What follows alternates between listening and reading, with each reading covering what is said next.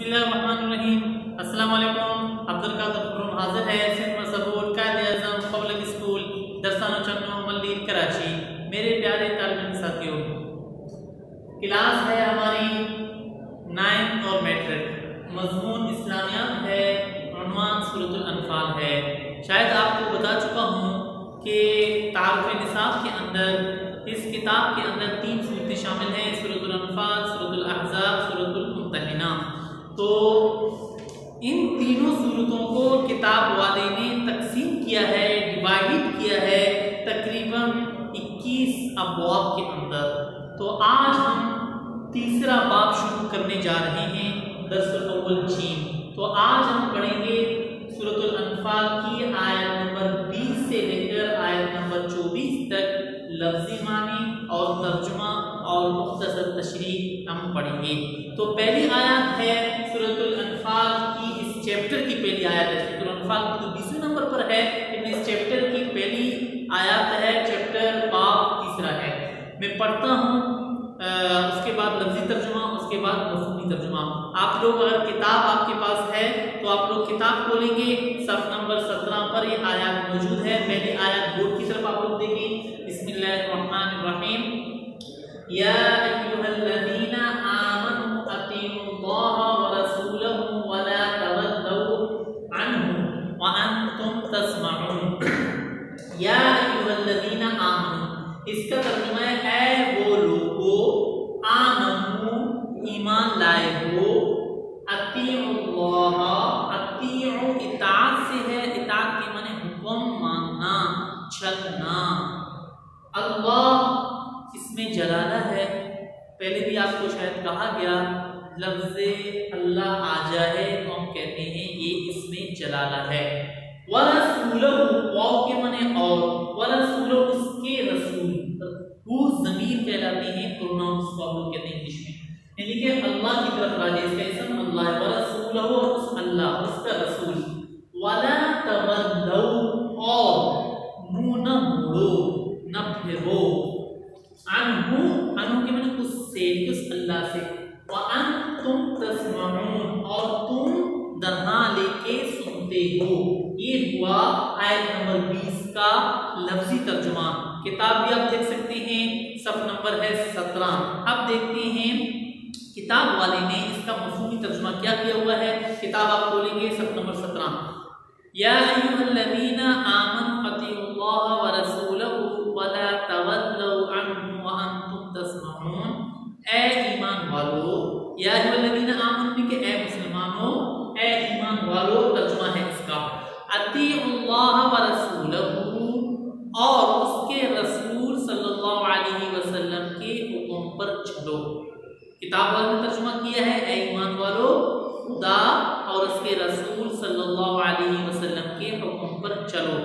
ولا تولوا عنه وانتم تسمعون اور اس سے روگردانی نہ کرو اور تم سنتے ہو۔ آسان ہے۔ اس کا مطلب آیت نمبر بیس کا یعنی کہ مسلمانوں کو اللہ رب العزت خطاب کر کے فرما رہے ہیں۔ اے مسلمانوں، کلمہ پڑھ چکے ہو، لا الہ الا اللہ محمد رسول اللہ پڑھ چکے ہو، مسلمان ہو، تو اللہ اور اس کے رسول کا حکم مانو۔ کسی اور کا حکم نہ مانو، ذرہ بر۔ یعنی کہ ہر معاملے میں ہم اللہ اس کے رسول کے احکامات کو دیکھیں اور اپنی زندگیاں گزاریں۔ ولا تولوا عنه وانتم تسمعون اور اس سے روگردانی نہ کرو یعنی کہ پیچھے نہ ہٹو، بالکل منہ نہ موڑو۔ اللہ اس کے رسول صلی اللہ علیہ وسلم کے احکامات سے۔ وانتم تسمعون، اللہ نے یعنی ہمیں کان دی ہیں، ہم سن بھی رہے ہیں۔ تو لہذا کسی بھی حال میں ہمیں پیچھنا نہیں ہٹنا ہے۔ یہ ہوا آیت نمبر بیس کا مفہومی ترجمہ۔ اب آتے ہیں آیت نمبر اکیس کی طرف۔ آیت نمبر اکیس بھی کتاب میں موجود ہے، یہ موجود ہے آپ لوگ دیکھیں ولا تكونوا كالذين قالوا سمعنا وهم لا يسمعون۔ اور واو کے معنی اور لا تكونوا مت ہو جاؤ۔ كالذين، ان لوگوں کی طرح قالوا کہ انہوں نے کہا سمعنا، سماعت، اردو میں لفظ استعمال ہوتا ہے سماعت یعنی کہ آپ نے دیکھا ہوگا اپنے محلے کے اندر ایک لفظ استعمال کرتے ہیں سماع کیا معنی سماعت کے یعنی کہ سماعت فرمائیں، سنیں، ایک اعلان سماعت فرمائیں اردو میں لفظ استعمال، اس کے معنی سننا، یہی ہے۔ سمعنا، یہاں پر جمع کا سیگا ہے، سمعنا انہوں نے کہا، ہم نے سن لیا۔ وَهُمْ لَا يَسْمَعُونَ۔ درہاں لے کے وہ سنتے نہیں ہیں۔ یہ ہوا آیت نمبر اکیس کا ترجمہ، لفظی۔ مفہومی ترجمہ جو کتاب میں موجود ہے، وہ آپ کو یاد کرنی ہے۔ کتاب کا ترجمہ ہے، اور وَلَا تَكُونُ كَالَّذِينَ قَالُوا سَمِعْنَا وَهُمْ لَا ترجمہ ہے اس کا، اور ان لوگوں جیسے نہ ہونا جو کہتے ہیں کہ ہم نے حکم خدا سن لیا، مگر حقیقت میں نہیں سنتے۔ کیا مطلب اس کا کہ اللہ رب العزت مسلمانوں کو کہہ رہے ہیں، تم ان منافقین کی طرح نہ ہو، جو مجلس میں آتے ہیں اور کہتے ہیں ہاں ہاں جو اللہ اور رسول صلی اللہ علیہ وسلم نے بتلایا ہاں ہاں ہم نے سن یعنی کہ بطور اپنے آپ کو ایسا کرتے ہیں، گویا کہ وہ نہیں سن رہے یعنی کہ بات کو سنی، انسنی کر دیتے ہیں۔ اے مسلمانوں، تم ان لوگوں کی طرح نہ ہونا، جو بات کو سنی، انسنی کر دیتے ہیں۔ بلکہ ہر حالت میں، ہر معاملے میں اللہ اور اس کے رسول صلی اللہ علیہ وسلم کے حکم پر چلو اور اللہ اس کے رسول صلی اللہ علیہ وسلم ہی کی بات مانو۔ اور ان لوگوں کی طرح نہ ہونا جو کہتے ہیں، ہم نے سن لیا، در حقیقت میں وہ نہیں سنتے۔ یہ ہوا آیت نمبر بیس اور اکیس کا ترجمہ۔ اب آتے ہیں آیت نمبر بائیس کی طرف، یہ بھی کتاب میں موجود ہے صف نمبر سترہ۔ غور سے دیکھیں، اس آیت کو آپ لوگ آیات ہے ان شر الدواب عند اللہ سم البکم الذین لا یعقلون ان کے معنی ہے بے شک یقیناً شرہ شرہ کہتے ہیں بدتر کو۔ الدواب دابا جانور کو کہتے ہیں، جاندار کو کہتے ہیں۔ ان اللہ سم عند کے معنی ہے نزدیک۔ اللہ اس میں جلالہ ہے۔ السمو سمو کے معنی ہے بہرے۔ البک بک کے معنی ہے گونگے الذین کے معنی ہے وہ جو لا یعقلون وہ عقل نہیں رکھتے۔ لا یعقلون کا معنی ہے۔ یہ ہوا آیت نمبر بائیس کا لفظی ترجمہ۔ آیت نمبر بائیس کا مفہومی ترجمہ کیا ہے جو کتاب ہی سے ہم لوگ کرتے ہیں؟ دیکھیں کتاب کی طرف غور سے۔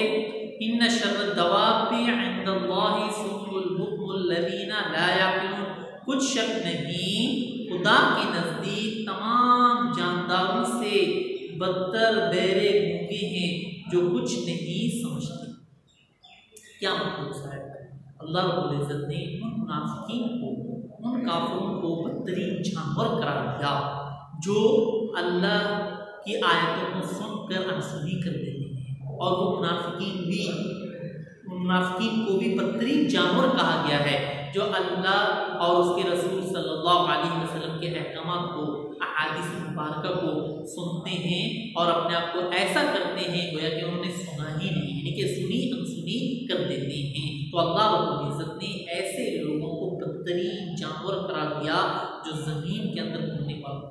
یعنی کہ خنزیر سے بھی یہ لوگ بدتر جانور ہیں۔ یہ ہوا آیت نمبر بائیس کا ترجمہ۔ اب آتے ہیں آیت نمبر تیئیس کی طرف۔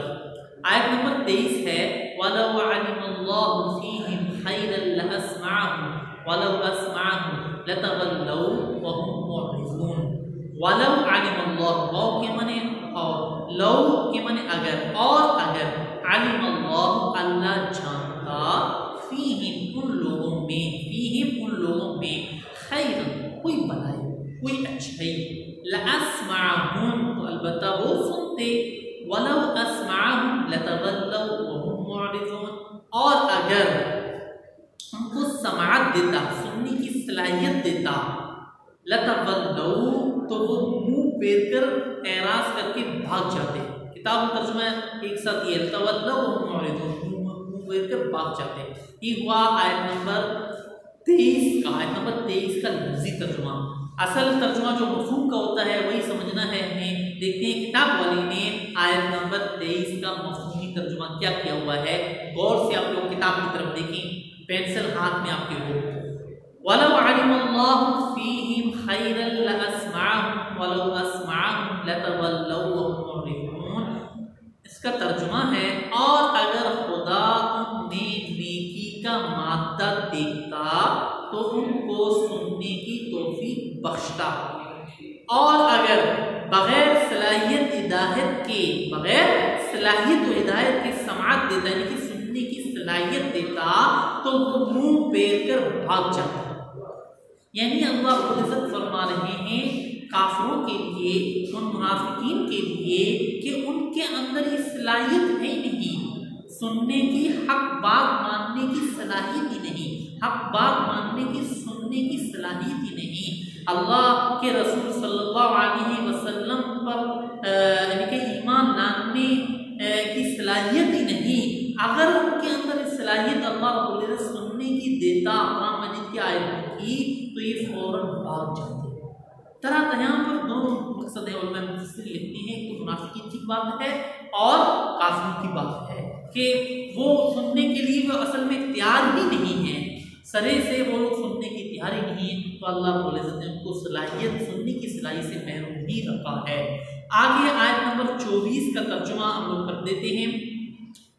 آیت نمبر چوبیس ہے، یا ایوہ الذین آمنوا استجیبوا للہ وللرسول اذا دعاکم لما يحييكم واعلموا ان الله يحول بين المرء وقلبه وانه اليه تحشرون لفظی ترجمہ ہے صاحب کا، یا ایھا الذین آمنوا کا ترجمہ یقینا آپ کو یاد اب ہوا ہوگا، یا ایھا الذین آمنوا کا ترجمہ ہے، اے ایمان والو یعنی اے مسلمان، استجیبوا للہ وللرسول استجیبنا حکم مانو اللہ اور اس کے اور رسول صلی اللہ علیہ وسلم کا، اذا دعاکم جس وقت کو بلائے، لما یجیکم، تمہیں وہ بخش دے۔ وعلمو وعلمو اور جان لو۔ وعلمو اور جان لو۔ علم کے معنی بھی جاننا۔ ان اللہ یحول بین المرء وقلبه وانه الیہ تشر بے شک اللہ یحول یحول کا ترجمہ ہے لفظی وہ حائل ہوتا ہے۔ حائل یہی لفظ اردو میں استعمال ہوتا ہے، حائل یعنی کہ وہ آڑے آ جاتا ہے، بیچ میں آ جاتا ہے، رکاوٹ بن جاتا ہے۔ وعلمو اور جان لو، بے شک اللہ یحول بین المرء وقلبه کہ بے شک اللہ حائل ہوتا ہے، بین البین کے معنی درمیان۔ المرء کی معنی آدمی وقلبه قلب کے معنی ہے دل، اور اس کے دل۔ وَأَنَّهُ إِلَيْهِ تُحْشَرُونَ اور بے شک اسی کی طرف لیے اللہ کی طرف تحشرون، تم جمع کیے جاؤ گے۔ اب یہ کیا ترجمہ ہوا اس کا؟ وَعَلَمُوا أَنَّ اللَّهَ يَحُولُ بَيْنَ الْمَرْءِ وَقَلْبِهِ وَأَنَّهُ إِلَيْهِ تُحْشَرُونَ۔ اور جان لو، بے شک اللہ آڑے آ جاتا ہے حائل ہوتا ہے آدمی اور اس کے دل کے درمیان۔ وَأَنَّهُ إِلَيْهِ تُحْشَرُونَ۔ اور بے شک تمہیں کی طرف لوٹ کر جانا ہے، اسی کی طرف جمع ہونا ہے۔ یہ ہوا آیت نمبر چوبیس کا لفظی ترجمہ۔ اب آتے ہیں مفہومی ترجمے کی طرف، جو آپ کو یاد کرنی ہے۔ مفہومی ترجمہ جو کتاب میں موجود ہے، اسی کو آپ کو یاد کرنا ہے۔ ترجمہ ہے، یا الذین آمنوا استجیبوا للہ وللرسول اذا دعاکم لما یحییکم واعلموا ان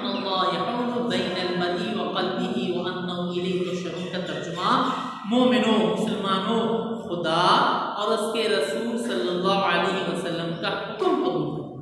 بغیر کسی چھوٹ چھڑا کے اس کا حکم قبول کرو۔ جبکہ رسول صلی اللہ علیہ وسلم خدا یعنی کہ جبکہ رسول خدا صلی اللہ علیہ وسلم تمہیں ایسے کام کے لیے بلاتے ہیں جو تم کو زندگی بخشتا ہے۔ یعنی کہ یہ تمہارے فائدے ہی کے لیے ہے۔ آیت کا مطلب کیا ہے؟ حضور صلی اللہ علیہ وسلم جو حکم دیتے ہیں، اللہ رب العزت جو حکم دیتے ہیں، یہ تمہارے ہی فائدے کے لیے ہے۔ ایسا نہیں ہے کہ ان کے اپنا فائدہ ہے، بلکہ تمہارے فائدے کے لیے ہے۔ وَعَلَمُوا أَنَّ اللَّهَ يَحُولُ بَيْنَ الْمَرْءِ وَقَلْبِهِ وَأَنَّهُ إِلَيْهِ تُحْشَرُونَ یہاں پر تھوڑی سی دھمکی ہے کہ اگر تم نے اللہ اور اس کے رسول صلی اللہ علیہ وسلم کا حکم نا تو یاد رکھو، جان رکھو، ہم تھوڑی سی تنقید لیے انداز یہ ہو رہا ہے میرا کہ جان رکھو، جان لو کہ بے شک اللہ آدمی اور اس کے دل کے درمیان حائل ہو جاتا ہے۔ یعنی کہ تمہاری جو روح ہے وہ اللہ رب العزت کے ہاتھ میں ہے۔ موت اللہ رب العزت کے ہاتھ میں ہے، یہ جان لو موت تمہارے ہاتھ میں نہیں ہے۔ بے شک اللہ آدمی اور اس کے دل کے درمیان عائد ہو جاتا ہے، آڑے میں آ جاتا ہے۔ وَأَنَّهُ إِلَيْهِ تُحْشَرُونَ۔ اور یہ بھی یاد رکھو، بے شک اسی کی طرف مرنے کے بعد تم جمع ہو جاؤ گے۔ یعنی کہ عدالت قائم ہوگی، حضور صلی اللہ علیہ وسلم وہاں پر یعنی کہ سب وہاں پر لوگ جمع ہو جائیں گے۔ ہم سارے کے سارے لوگ صلی اللہ علیہ وسلم کی طرف دیکھ رہے ہوں گے۔ تو بہر کیف یہ ہوا آیت نمبر چوبیس کا مفہومی ترجمہ۔ آج میرے پیارے طالب ساتھیوں درس الاول جیم ہم نے شروع کیا اور درس الاول جیم کے سورت الانفال کی آیت نمبر بیس سے لے کر چوبیس تک ہم نے پڑھ لیا۔ تو خلاصہ کلام یہ ہوا کہ اللہ رب العزت مسلمانوں چاروں دن کے نمبر بیس سے لے کر چوبیس تک ان کا خلاصہ یہ ہوا کہ اللہ رب العزت فرما رہے ہیں، اے مسلمانوں، اللہ اس کے رسول صلی اللہ علیہ وسلم کا حکم مانو اور وہ گردانی نہ کرو۔ اور ان کافروں کی طرح نہ ہونا جو باتوں کو اللہ اس کے رسول صلی اللہ علیہ وسلم کے احکامات کو سنی انسنی کر دیتے تھے، ایسا نہ ہونا۔ اور جان لو کہ بے شک جو ایسا کرتے ہیں یعنی کہ بات کو سنی انسنی کر دیتے ہیں، تو اللہ رب العزت فرما رہے ہیں، ایسے لوگ زمین کے اندر بدترین جانور ہیں۔ ایسے لوگ خراب ترین جانور ہیں، بدترین جانور ہیں۔ اور اے مسلمانوں، یہ بات یاد رکھو، حکم مانو اللہ اس کے رسول صلی اللہ علیہ وسلم کا، جس وقت بھی، جب بھی حضور اکرم صلی اللہ علیہ وسلم تمہیں بلائیں اور جان لو کہ بے شک اگر تم نے بات قبول نہیں کی، تو موت اللہ عزت کے ہاتھ میں ہے۔ تو اس لیے کہ اللہ آدمی اور اس کے دل کے درمیان حاضر ہوتا ہے۔ تو میرے پیارے طالب ساتھیوں تیسرا باپ ہم نے شروع کر دیا اور یہ تقریباً اس باپ کے اندر ایک، دو، تین، چار، پانچ آیتیں، آیت نمبر بیس سے لے کر آیت نمبر چوبیس تک کا یہ جو ترجمہ ہے، آپ لوگ یاد کر لیں۔ مفہوم آپ کے دل میں دماغ میں ہو، انشاءاللہ آگے ہم یہ تیسرا باب شروع کیا ہوا ہے، آگے ہم اس کو چلائیں گے۔ السلام علیکم۔